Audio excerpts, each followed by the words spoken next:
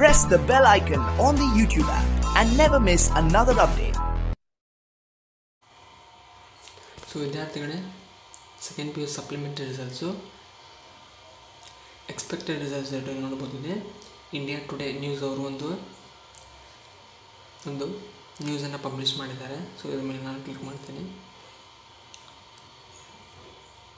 So click ಮಾಡಿದ ನಂತರ ಇಲ್ಲಿ ನೋಡ್ಬೋದು ಇಲ್ಲಿ Karnataka second P C supplementary results two thousand nineteen expected to be out on this week ಅಂದರೆ ಈ ವೀಕಲ್ಲಿ ನಿಮ್ಮ ರಿಸಲ್ಟ್ಸು ಬಿಡ್ತಾರೆ ಇನ್ನು ಅಫಿಷಿಯಲ್ ನೋಟಿಫಿಕೇಷನ್ಸು ಬಂದಿಲ್ಲ ಇನ್ನು.